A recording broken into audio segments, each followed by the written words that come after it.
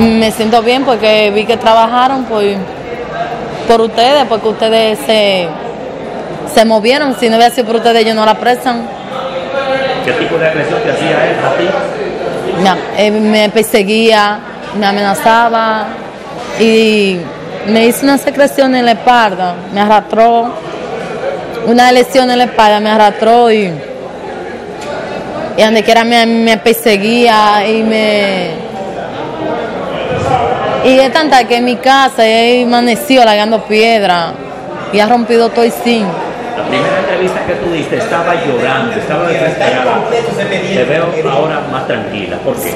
Porque lo apresaron, ya soy libre, ya puedo ir de mi familia. Yo no podía ir de mi familia porque cada vez que él me sen- mm, sentía que yo estaba allá, me decía, tranquila, tú sales de ahí. Me decía muchas palabras de su neta.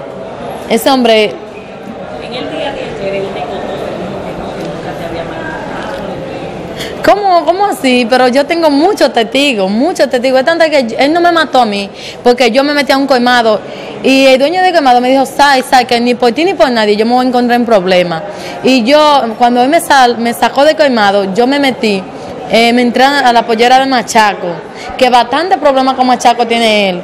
Si, si Machaco se dispone a venir por, por un robo grandísimo que le hizo de 17, de 16 guacales de cerveza, pues Machaco no me mató a mí porque Machaco dijo, déjalo que venga, que si viene le voy a dar un tiro. Cuando él te arrastró, ¿en qué lugar fue? Eh, fue en- de- después que me sacó del colmado.